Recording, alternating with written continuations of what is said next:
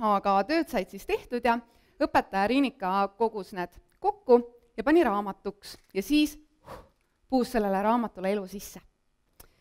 see raamat näeb välja nagu raamat ikka, ilus, värviline, pildid on, tekst on, esimesele klassile täitsa sobiv. tundub selline täiesti tore, armas laste ja õpetaja koostöös tehtud raamat. aga see on natukene nagu võluraamat. sellepärast, et kui me võtame nüüd oma nutivahendi ja avame siin nutivahendis Aurasma rakenduse ja vaatame seda pilti, nii, kas tuleb meil pilt? pilt tuleb ja vaatame neid raamatu lehekülgi läbi rakenduse. nii, kas me heliga saame? Ilma veeta poleks maal elu.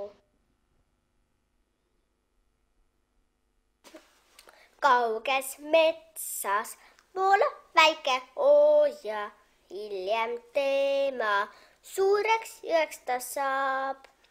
merre suubub meie väike ooja, piisast saanud selle väike osa kui vesi, kui veele paistab päike peale, siis, siis vesi, vesi aurustub ära, siis see tõuseb äh, õhku pilvedeks ja, ja siis jälle sajab kas viim, vihma või lumena alla maa, maa peale. see on meie eksperiment.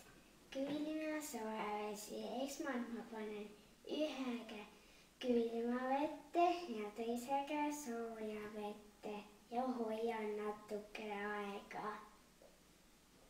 siis tõstan mõlemad käed leigesse vette. ja ma tunnen, et sooja vee käel on nüüd külm ja külma vee käel on nüüd soe. elas veetilk puhtas jões kivilt kivile ta hüppas, võttis kuumal kivil päikest,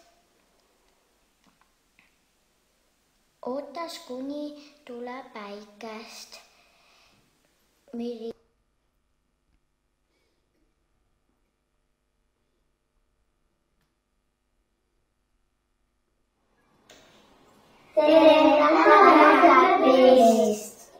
kraanivesi on läbipaistev. Ja mõne video puhul on näha, kuidas ka vanemate IT-alased teadmised on kohe väga hästi mängu pandud ja ka mõned isad on väga nautinud sellele tööle kaasaaitamist. nii läbipaistev kui kraanivesi. porivesi on mustem kui kraanivesi või mullivesi, sest selle sees on pori ja mullaga rahe koosneb jääkuulikestest. Nad võivad olla umbes hernetera suurused, kuid ka väiksemad. enamasti saja, ei saja rahet talvel, vaid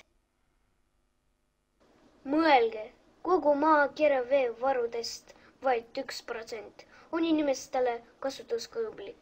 oleme säästlikumad ja hoime meie planeeti. Me pidime tegema veega ka. vesi talvel, kus ja mis kujul talvel vett leida võib? vett võib leida talvel jääna, lumena ja lihtsalt veena. miks on vesi talvel õues just sellisel kujul? sest väljas on kuiv, külm. kuidas saad nii et ma kõiki neid videosid lõpuni ei näita, aga et saate lehekülgede puhul natukene aimu, et mida siis lapsed teinud on. veega, loodusliku veega, mulliveega ja kraaniveega. ja need katsed tulid päris ilusad. keedetud vesi on siis selline.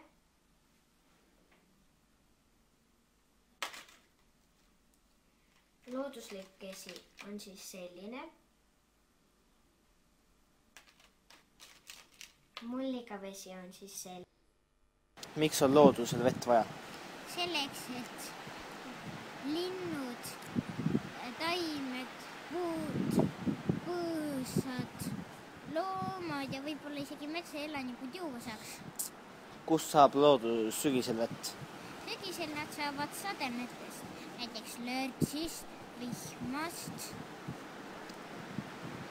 ja lumest. lörts tekib nulli kraadi juures.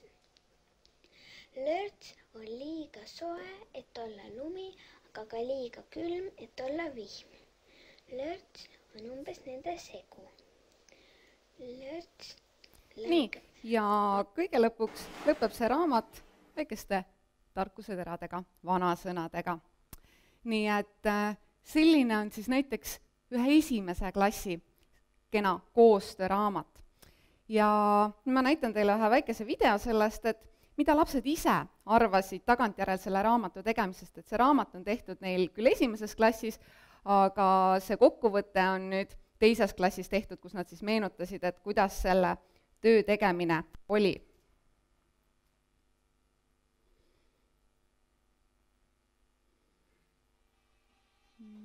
selle raamatu tegemine oli selleks vajalik, et kui me oleks õpikust teinud, siis see ei oleks nii lõbus. Ja kui me veeraamatut tegime, saime me iPadis ka osalikuks. selle raamatu tegemine oli väga lõbus ja see andis sellele juba vaja. vee teema on hästi lai ja kui seda õppida jupikeste kaupa, sai seda, selle ise selgeks ja sai teistele õpetada. me pidime otsima internetist äh, ja raamatutest igasugust infot, et projekti teha ja minu projekt, projekt oli vesi ja jää. ma pidin seal tegema igast erinevatest veest, erinevatest vetest, olekutest ehm, katseid ja mul oli seal keedetud vesi, lumi, mille ma kodus ära sulatasin, siis tavaline kraanivesi ja porilombist võetud vesi. sain teada, et õppimine on väga põnev ja lõbus. mulle meeldis see, et igalühel oli oma väike töö, aga lõpuks tuli ikka üks suur töö ja mulle meeldis see, et me saime asju katsetada ja saime palju rohkem teada kui internetis ja seda, mis õpetaja ütles. mulle meeldis, et me saime harjutada ka esinemises.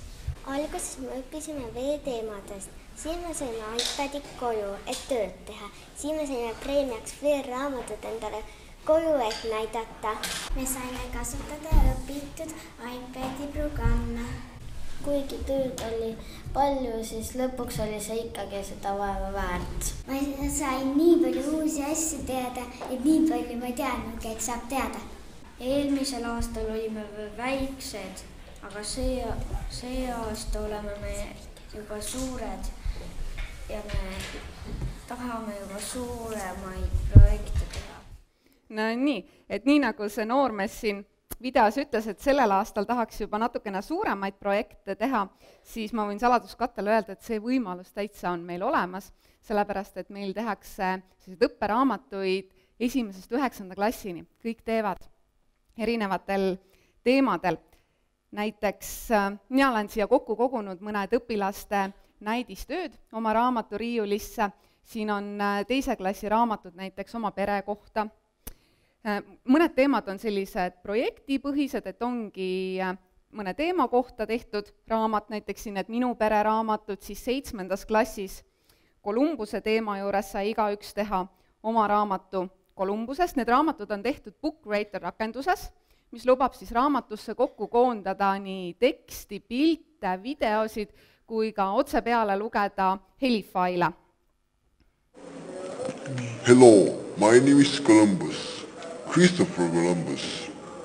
In 1492, I went to discover a new trade route to Asia, but I found nii, ja siia on väga lihtne siis kokku panna kõike seda, mida iPadis tehtud on. ja millele ma tahaks veel eriti tähelepanu pöörata, on see, kuidas nendest raamatutest saab kokku sellise e-portfoolio kuhu õpilased koguvadki kogu aasta jooksul tehtud tööd. nii on näiteks äh, siin äh, saksa keele, prantsuse keele tööd, äh, kuuenda klassi kodundus- ja käsitöö, siis kaheksanda, üheksanda klassi keemia ja bioloogia, millest ma ka veel viimasena väikse killukese näitan.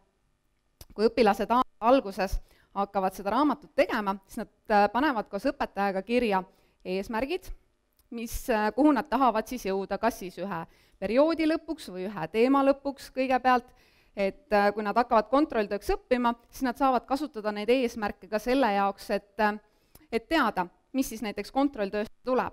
siis nad panevad siia kirja kõik oma praktilised tööd kõigis praktilistes töödes tehakse pildid, videod, lisatakse juurde katsekirjeldused, hüpoteesid, tulemused ja õpilased kasutavadki seda raamatut oma õppematerjalina.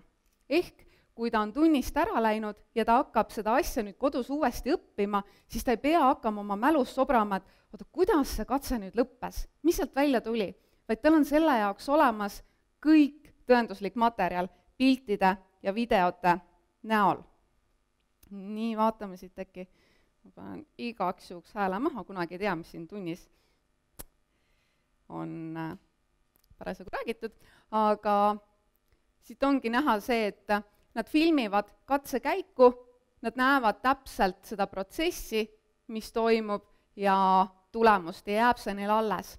ja milline suurepärane materjal on see nende jaoks, kes parasjagu ei saanud tunnis olla, kes saavad seda tundi tänu siis kaasõpilaste abile uuesti ja uuesti vaadata.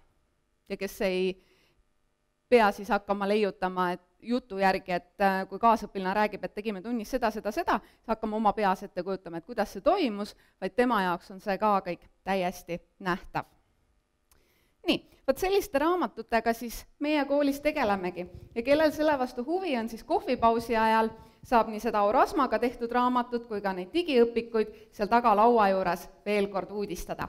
nii et äh, head raamatute tegemist teile, aitäh!